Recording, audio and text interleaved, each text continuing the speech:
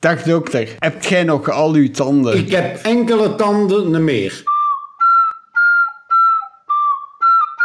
Bijvoorbeeld mijn wijsheidstanden. Heb je die wijsheidsstand meegekregen? Nee, ja, ik had zo'n grote tand met zo'n grote wortel aan dat mijn tandarts, die ook les gaf, dat hij gevraagd heeft of ze mijn tand mocht gebruiken om aan haar studenten te laten zien dat er soms tanden zijn met geweldige lange wortels. Die wortel die zat van hier tot in mijn hersens. Ze heeft die uitgetrokken. Ik denk dat ze een deel van de hersens mee had, maar ik heb een MRI laten nemen en ik heb nog genoeg hersens gelijk een dokter, gelijk ik van 40 jaar. Moest je die tand in een kist steken? Hoe groot zou de kist zijn? Ah, dat is te zien. Als je een grote kist op je tand hebt, dan is dat een grote kist. Als je een kleine kist op je tand hebt, dan is dat een sigarenkist. Voelt je mij al aankomen? Ja, ik hoor u aankomen op uw witte bordeelsluipers. Wie is Patrice Lumumba en waarom hebt je hem vermoord? Ah, Patrice Lumumba, celui qui a dit que le roi Baudouin, c'est un con. Hij heeft dus koning Boudewijn beledigd in publiek bij de onafhankelijkheid van de Congo. Boudewijn zat daar met zijn sabel, met dichtgeknepen billen. En Patrice Lumumba, die heeft gezegd, les blancs sont des exploiteurs, des racistes qui nous ont maltraités. Die heeft daar dus de koning beledigd. En ik denk een kleine maand later was Patrice Lumumba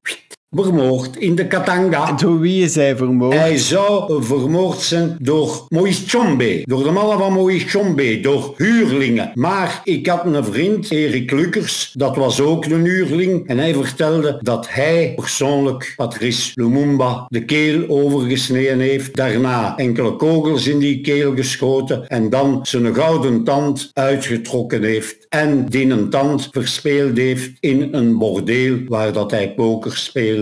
En zo is die een tand in België terechtgekomen. En nu heeft België die een tand teruggebracht. Maar in een hele grote kist. Er kon zeker twee Lumumba's in. Dat was een lijkkist. Het was ook een lijktand. Maar dus we kunnen ervan uitgaan dat hij door de Belgische staatsveiligheid is vermoord. Natuurlijk. Hij had in het bijzijn van president Kasavubu, hij was geen president, hè? hij was de premier, hè? gelijk de Croo. En Kasavubu was de president, gelijk koning Boudewijn. Maar le premier, Lumumba de Croo, heeft koning Boudewijn publiekelijk vernederd, geschoffeerd en dat heeft hem zijn leven gekost. Voilà. Wie heeft hem opgevolgd? Ha, ha, ha, ha. Mijn goede vriend. Mobutu. Joseph Désiré. Président fondateur Joseph Désiré Mobutu, le président du Zaïre. Et le président Mobutu, c'était un ami de mon ami Herman de Pril. Herman de Pril, die leverde uniformen aan Mobutu. En le président Mobutu, c'était un comique, die kwam met Guy Polspoel in een discussie op televisie. Mobutu zei, mais monsieur Polsmoel. Hij zei niet Polspoel, hij zei, mais monsieur Polsmoel, moi je m'occupe pas de vos problèmes au fourron. Dat was de voerkwestie. Ja. Moi je m'en occupe pas, zegt hem, c'est votre problème. Vous avez votre roi qui est le chef, want die schoffeerde Boudewijn niet, hè. Nee, hij kreeg heel veel geld van Boudewijn, hè.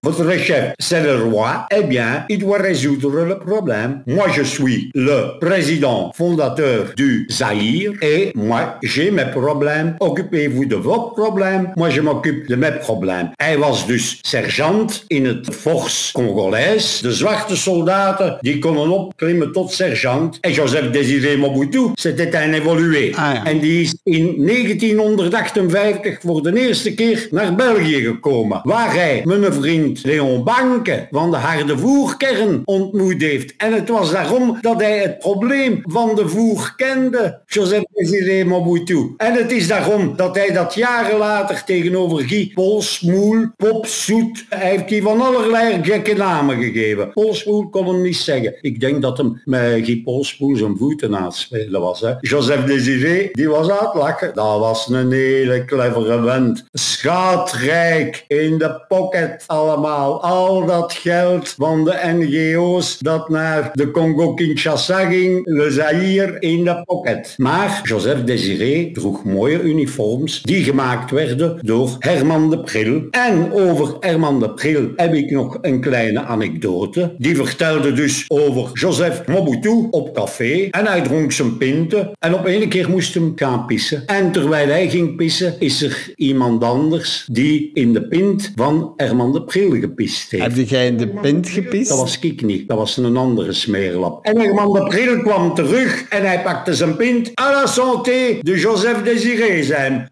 En hij dronk die pint met pis uit strafbier zijn. Ik heb nog één vraag. Waar zijn de andere tanden van Lumumba? Die zijn ingeplant bij Joseph Désiré Mobutu. Die had zijn tanden gebroken door op een banaan te bijten. Een steenbanaan, zo gezegd. Krak. En al zijn tanden. En hij heeft de tanden van Patrice Lumumba in zijn eigen mond laten overplanten. Behalve die een gouden tand die Erik, de nuurling, vergokt had in een oerenkot. Dank u wel voor deze les. De volgende keer leren we u differentiaalvergelijkingen. Het een wiel draait naar voren en het andere draait naar achter. Dan geraakt er niet vooruit.